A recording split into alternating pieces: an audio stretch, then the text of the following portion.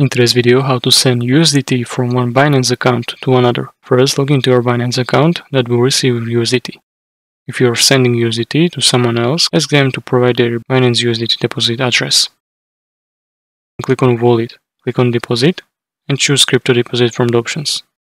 In the coin field, search for USDT and select it. Select Network dropdown and choose network you want to use. It's crucial to remember this network selection because you will need to use same network when sending USDT from other account. Once you select network, copy deposit address provided and simply click on the address to copy it.